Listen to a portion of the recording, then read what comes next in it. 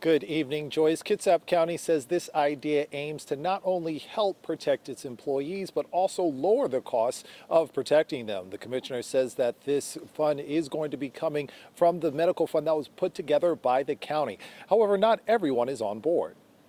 A $500 bonus. That's what Kitsap County's employees can look forward to if they get vaccinated before the end of the year.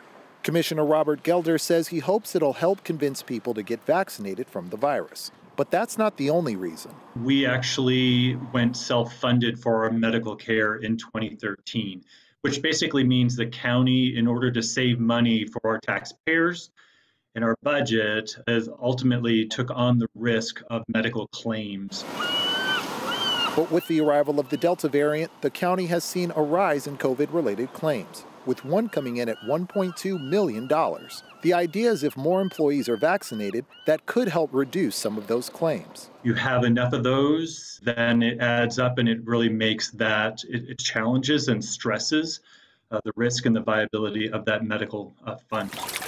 So far, around 65% of Kitsap's 1,150 employees are vaccinated, but some residents are against the idea and feel as if the vaccine is still being forced on people. It's bribery. I think it's a rotten idea. I think that uh, that is a question for the individual to be able to answer for themselves, and I don't think that it should be put out there for us to have to get or not get based on somebody else's opinion. I think that it's our body, our choice. I'd be looking for a new job straight. That's just the end of the, the end of the line right there.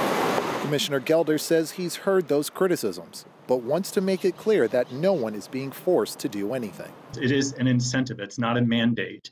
So individuals, employees still have every ability to exercise their own choice and not get vaccinated and not receive the incentives.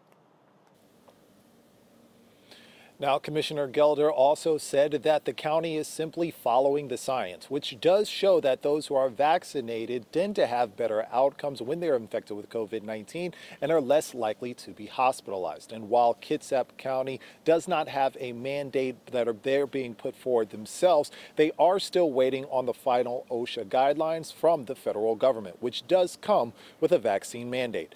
Live from Kitsap County, Lionel Donovan, King 5 News.